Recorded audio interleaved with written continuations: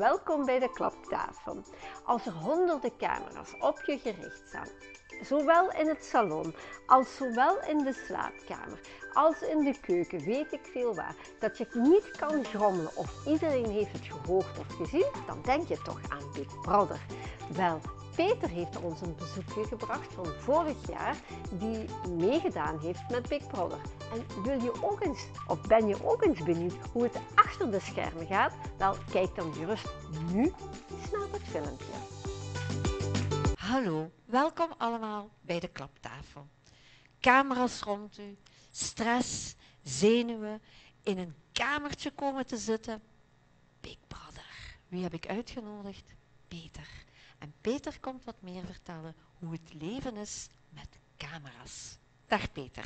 Hallo, hey, hey. Bedankt voor de uitnodiging. Ja, ik ben super zenuwachtig. Maar nee. Uh, ik vind u super sympathiek. Zelfs je rood gezicht. um, Peter, um, ik denk dat, je, dat je gekozen bent uit acht deelnemers. Hè? Dus ik, kan, ik, kunt je me dan, ik heb daar zo heel raar in een beeld, in, een beeld van. Zit je met honderd of hoe, hoe zit je eigenlijk daar terechtgekomen? Of wat heb je eigenlijk gedaan om mee te kunnen doen bij Big Brother? Voor mij was het heel belangrijk. Ik wou eigenlijk Big Brother meedoen. Ik had vorig jaar die finale gezien. Ik dacht, mm, ja, ik ga me inschrijven. Volgend jaar, ik ga meedoen.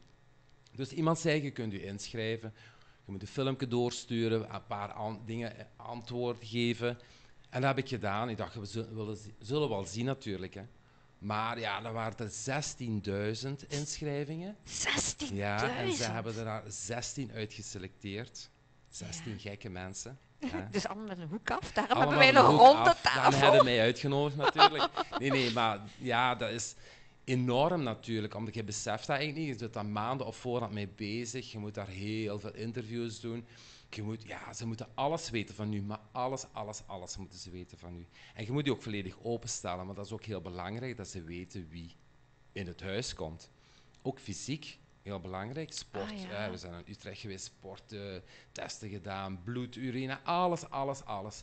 Uw gewrichten, alles kijken ze naar. Ah, amai, ja, en uh, omdat ze zeker willen zijn dat ze 100% gezonde mensen in het huis mhm. steken, want de mhm. productie is met 200 mensen werken ze daaraan, dus uh, dat is heel belangrijk. Het is het grootste experiment van het jaar. En uh, ja, ik was een van de 16.000. Dus uh, ja, super blij natuurlijk. Hè. En een Limburger. Yes. Ja, en een Limburger sowieso. En dan iemand van Hasselt. Ja. Dat was voor mij ook heel belangrijk, de Hasselt op de kaart te zetten. En ja, zo ben ik dan toch in het huis geraakt natuurlijk. Hè. Ja. En heb je ook uh, psychologische testen moeten doen? Ja, psychologische testen hebben we ook gedaan. Dus uh, uh, was een hele aangename man en ik heb daar een heel leuk gesprek mee gehad. En ik herinner me dat eigenlijk nog heel goed. En, want hij twijfelde aan mij voor in het huis te zetten. Dat was een twijfel, ja. En, en waarom? weet je ook waarom? Ja, ja, waarom? Hij zegt, je bent een heel sterke persoonlijkheid.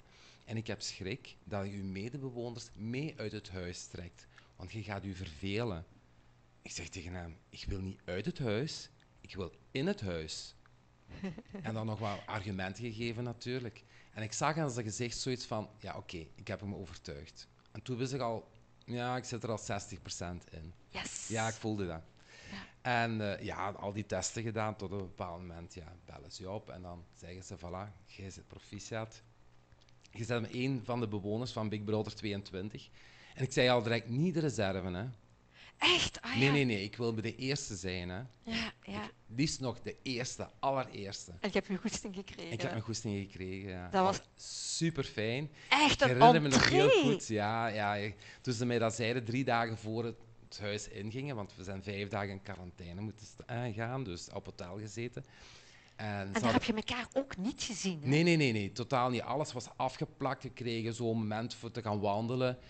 Uh, in het Ajax, rond het Ajax-stadion. Dus dat was echt zo heel dingen. Want het was, was ja, corona, dus we zagen ook niemand niet. We hebben totaal geen medebewoners, want iedereen zat eigenlijk in die gang. Nee. Alle acht waren daar. Maar ja, je beseft dat natuurlijk niet. Hè. Spannend ja, was heel spannend. leuk ja, om te weten. Dat is heel spannend, want iets wat, achter, wat ervoor allemaal speelt natuurlijk. En toen zeiden ze, ja, je moet naar de studio nog een gesprek gaan doen. En ik zit daar aan een heel grote tafel en de Big Brother zit daar en, en nog van de productie. En zei, we hebben een heel leuke verrassing voor u. Dus jij hebt Big Brother ook in levende lijven Ja, gezien? ja, ja. Dus eh, ja, en toen zeiden ze natuurlijk, jij bent de eerste bewoner. Ja, ik, ja, Dat was een dikke cadeau. ja, dat was echt niet normaal. Ik zei, wow, echt super. Maar je bent niet alleen. Ik dacht, dat is werk niet. Dan zijn we met twee. Had je gedacht dat het een vrouwelijk iemand was? Nee, nee, totaal niet. Ja, je wordt geblinddoekt in dat huis gezet natuurlijk. Hè. Ja. Je mocht niks zien. Je wordt geblinddoekt in de auto en dan het huis gebracht. Dus daar gaat een muur open. We zijn niet door een deur gegaan, door een muur, muur? eigenlijk. Ja, ze hebben dat helemaal opengetrokken. En eh, je moet daar wachten tot ze het midden zetten in, in de game room.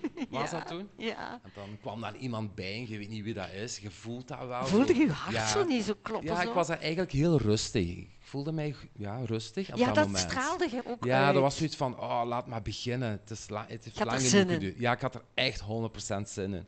Ja, toen iemand daar stond, denk je, ja, heel nieuwsgierig natuurlijk. Wie gaat dat zijn? Hè? Dus op een bepaald moment toen ze blinddoek af, moesten we ogen dicht houden. En als het licht aanging, dan moesten we onze ogen open doen en naar elkaar kijken. Hè? En dat hebben we gedaan. En ja, die stuiterbal die hebben we dan gezien natuurlijk, als Grace. En eh, Ja. dat was wel heel fijn. Dat was Ja. echt heel... Dat is de mooiste dingen, waar, ja, van Big Brother vond ik wel een van de mooie dingen. Ah, voilà. Dat is Ja. mijn vraag alweer eh, natuurlijk beantwoord. Ehm, maar je had ook wel een hele, hele, hele goede band met Grace, denk ik. Hè? Toch in, vooral in het begin, denk Ja, ik. ja, hè? ja, Want ja, eh, ja. dat, was, dat was uw maatje, Ja, hè? want jullie waren samen binnengegaan. Klopt. En dan eh bij Grace zag je dat nog natuurlijk een beetje meer, dat er een hoekje af was. Hè? Want die was natuurlijk super, super aanwezig. Ja. Hè? Ehm, wat waren uw slechte momenten, denk je? Want ik denk toch wel dat je een, slecht moment hebt gehad eh, in het huis. Ja, ik heb eh, verschillende slechte momenten gehad. Ik heb het minste moment van heel dat ja, Big Brother verhaal was eigenlijk eh, toen het huis ge- gesplitst was. Ja, Dat vond ik heel, heel moeilijk. We hadden dus eigenlijk zo'n hele rustige groep en een hele uitbundige groep. Ze hadden dat bewust gedaan natuurlijk. Mhm. Ik zat me nou wel, wat eigenlijk moeilijk was. Ja. En iedereen had dat gezien natuurlijk, dat eh, we gesprek hadden voordat we gesplitst werden. En we voelden aan dat er iets ging gebeuren. Dus ik heb een gesprek gehad met haar en dat was heel heftig. Op de beelden niet te zien natuurlijk, op de samenvattingen, maar in de live was wel te zien dat ze heel heftig naar mij toe was. En ik dacht, laat gewoon, doe maar, geef me alles. En ik zal het wel niks zijn, ik zal kijken wat ik Mhm. ermee doe. En, en we hebben, ja, ik heb ook gezegd, oké, ben ik daar fout in geweest? Maar mijn gevoel was dat natuurlijk. Maar ik wou het ook een beetje afzwakken. ja. Ik wou het ook niet es- laten escaleren, want je zit een ganse week met, Met die persoon. En ja, ik wil ja. ook geen ruzie hebben, ik wil er een heel leuk, eh, een leuke week van maken. Dus we hebben dat ons bij neergelegd en terug samengekomen. En met die week was heel moeilijk. Voor mij was dat echt een, een ja, geen leuk. En die anderen waren heel... Mindfucking zo'n ja, beetje, ja, ja, beetje. zeker, zeker. hè, We hadden geen warm water, we hadden Ja, ja, heel weinig. Die luxe, wonnen alles eigenlijk, ja, want die sterke zaten, die jong gasten met heel veel spierkracht, die zaten natuurlijk Aan de aan de andere kant. kant. Wij moesten dan, we wisten al, al voordat we begonnen eigenlijk met die koord die twee personen mochten trekken, dat het ging lukken. Ja. En toch ben ik eigenlijk een beetje gekraakt eigenlijk, omdat voor mij was zoiets van, "Oh, waarom lukt ons dat niet? We wouden toch nog Ja. één punt halen, toch iets hebben. Maar in dat huis komt alles veel sterker over natuurlijk. Harder aan. hè. Ja, op tv is dat oké, je ziet dat en denk je oké, ja. Mhm. Maar aan, in het huis, ja, mocht dat niet onderschatten. Wat ik, ik heb natuurlijk ook Big Brother gekeken en daarom heb ik u ook uitgenodigd, omdat je een van mijn fans bent. Hè. Ehm, wat ik heel erg vond, toen ik, ik wou zo naar u toe komen en zei, oh Peter, dat is, dat is niet erg. Niet bang zijn, of niet bang zijn is misschien niet het juiste woord. Toen je dat ijskoud water Ja, dat had ja, mij dat bad zo was- geraakt. En ik dacht, Ja. kom aan Peter, Ja, laat u niet gaan, het, Mhm. het, het, het Ja. geeft niet. Dat- Ik, ik wou het ik- absoluut doen. Ik wou het absoluut doen. Ik dacht, ik wil dat nog doen, ik wil dat doen. Ik had, op, ik dacht, ik ga dat doen. Ik ga dat badden en in één keer mijn spieren die beginnen verkrampen helemaal. Ja, dus ik kon mijn benen niet meer recht houden. En dat was Ja. zoiets van, allee, dat kan niet, dat kan niet, dat kan niet. Ik dacht, dat ook al niet. ja. Dus, eh, maar Big Brother had ook gezegd, eh, we laten het gewoon gaan, we laten het gewoon met rust en, en we gaan het niet opnieuw proberen. En ik had ook gezegd, nee, ik wil dat zeker geen twee keer zo aan de hand hebben. Dus, eh. Ja, dat was ook een minpunt. natu- eh, minpunt, Nee, een minder, nee. minder goed gevoel natuurlijk. Ja. Ehm, hebben nu een beetje gepraat over eh, hoe het ging voordat je erin ging. Hoe het erin was. Ah, ik wil nog wel iets vertellen. Ja, ja, ja, wat ik heel ple- Ik vind uw moves van dansen zo geweldig, hè. Je hebt me daar juist gezegd, 57 jaar. Hé, hey, mannetjes, je kunt nog veel leren van Peter, hè. Wauw, wat een moves. Ja. Ik had spijt dat er maar weinig vuifjes waren of eh, Mhm. weinig eh, Feestjes waren feestjes nee.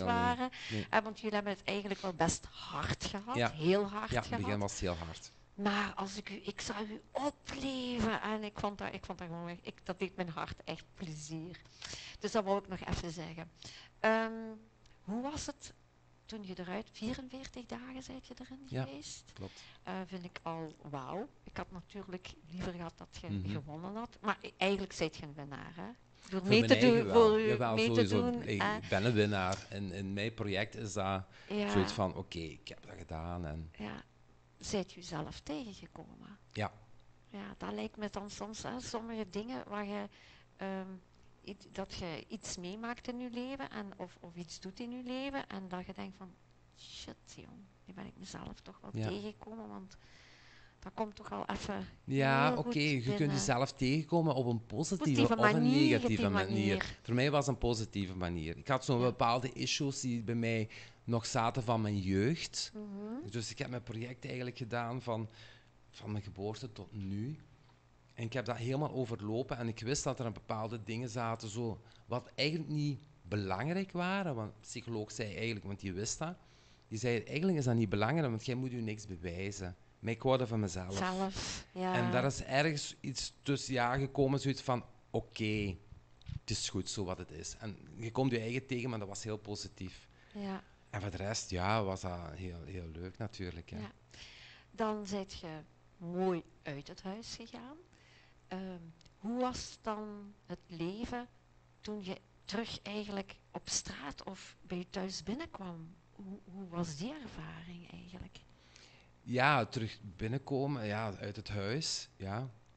Het is heftig. Het is zoiets, ja, ik ben ook bij de taxi naar huis gegaan en iedereen stond te wachten. Ik zei, ik wou niet op het hotel blijven, ik wil naar huis. Er stonden 50 mensen op mij te wachten in Hasselt. En eh, maar dat komt dan heel, ja, je komt uit je taxi en, en iedereen vriend, vliegt rond je nek. En ik denk, wat is er allemaal aan de hand? Je ziet die, allemaal de t-shirts, eh, ik wil drama. En ik denk, wat is, er, Ja, wat is er hier allemaal los natuurlijk? Maar je beseft niet eigenlijk wat het buiten het huis allemaal mensen moeten doen voor mij erin te houden. En, en ja, dat was wel heel emotioneel. Ik, voor mij was het uit buiten komen heel emotioneel. Voor mij was altijd zo, ik kon elk moment wenen. Emoties waren heel zwaar. Ja. Nu we hebben dat, en we zitten babbelen en ja, je verhaal doen. En, maar je beseft dat het totaal niet natuurlijk. Het heeft toch, toch 14 dagen, drie weken. Ze zeggen, je moet terug landen. Landen. En dat is ook effectief zo. Ja, dat is echt eh, heel En- heftig. Als je nu bijvoorbeeld, ik, ik zie nu, eh, ik heb hier nog gasten uitgenodigd en er is nog nooit niemand zo op tijd geweest. Ik denk dat ze stiekem in de agenda hebben gekeken, nu jij hier bent vandaag. Ehm, hoe is het leven nu als je naar die GB gaat? Of ja, sorry dat ik eh, eh, dat zeg, GB. Of hoe is het leven nu als je door Hassen loopt? Ja, dat is, dat is heel anders natuurlijk. Iedereen herkent u, iedereen kent uw naam, iedereen roept uw naam. En, en in het begin was dat zo, ja, heel Leuk raar. Ja, dat was heel vreemd. Als mensen mij denken, allee, die kennen mij allemaal. Je beseft dat niet, hè? Je beseft eigenlijk niet hoe je in beeld komt eigenlijk als je in dat huis zit. Je ziet die, er zijn 150 camera's en ja, die staan op je gericht, maar hoe of wat, je weet dat eigenlijk niet. Wat zenden ze uit, dat weten we ook niet. En als je dan terug buiten komt natuurlijk, ja, iedereen spreekt je aan, iedereen wil een foto, die dingen. En ik denk ook, ja, als mensen kan blij maken met een foto of, of een handtekening, is voor mij voldoende. Dus na de weken toe ging dat beter. Beter. Jawel, en nu ben ik het al een beetje Gewoon. gewoon, dat mensen, ze kijken nu aan en denken, oh, oké, ze herkennen mij. herkennen. Maar tenslotte, je doet daar zoiets aan mee, dan weet je ook wel ja. dat dat zoiets is, maar je weet niet hoe. Ja. Dat weet je niet, hè.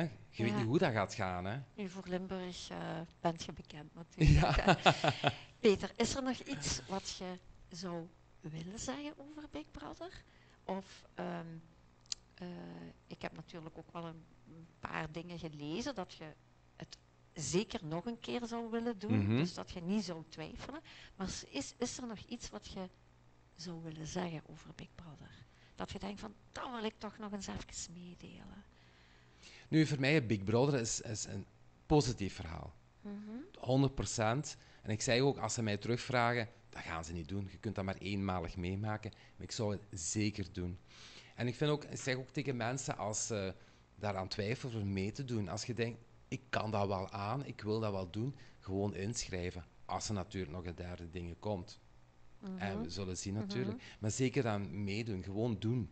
Inschrijven en lotje en je zit erbij natuurlijk. Ja. Maar eigenlijk dat huis, ja, dat is zo... Dat zijn eigen barakken.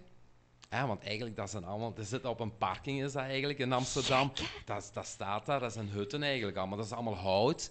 Maar toch heeft dat huis zoveel impact op je mindset. Je moet echt continu van, ja, irritaties moet je proberen weg te doen, want anders word je gek. Sowieso, want iedereen is verschillend. Ah, Christophe die was aan het zingen, Nushin was en, en dingen, nou die waren aan het schreeuwen, de ganse dag waren aan het schreeuwen, lachen en die dingen. Maar dat klinkt allemaal hè? zo fel natuurlijk. Dan denk je, nee, oh, even aan de Ja. kant zetten en niet te veel mee bezig zijn, want anders worden helemaal dingen. Ja. Wat ik ook mee mag geven, eigenlijk, want we zijn daar eigenlijk met 16 mensen binnen geweest. En zijn, ik zeg altijd, het zijn mensen met een heel goed hart. En ik vind het altijd heel jammer dat bepaalde mensen dan eigenlijk zo'n beetje, ja, In een slecht ja, en vind ik jammer. Ik kan er niet goed tegen. Als ik dat allemaal lees en denk, nee, want je kent die mensen eigenlijk niet. niet. Je kent die enkel maar van op tv. Maar buiten tv, als we elkaar tegenkomen, dan slaan we elkaar in het hart en dan- we hebben een bepaalde band. En iedereen op zijn manier heeft zo goed hart. En ja, ieder is allemaal wat verschillend. De ene is een beetje zo en de ander is zo. Mooi Ja, gezegd. Ik vind dat, ja, dat moeten we blijven onthouden. En ik vind ook soms, ja, die reacties wat ik dan lees, vind ik jammer. Van Ja. eigen spijtig. Ja, Hoeft allemaal is- niet. In deze tijd moeten we niet. We moeten eigen liefde sturen en niet altijd haat sturen. Mooi, mooi gezegd, heel mooi. Peter, ik wil u dank u wel zeggen dat je toch de moeite hebt gedaan om tot hier te komen. Ik ben blij dat ik u in levende lijven heb gezien. En ehm, ik wens u nog heel veel, heel veel positiviteit en kracht en eh, nog heel veel verkoop in La Bottega. Want dat Ja. wil ik ook nog zeggen, dat heb ik beloofd gehad Ja, ja. aan mezelf, dat ik dat zou zeggen.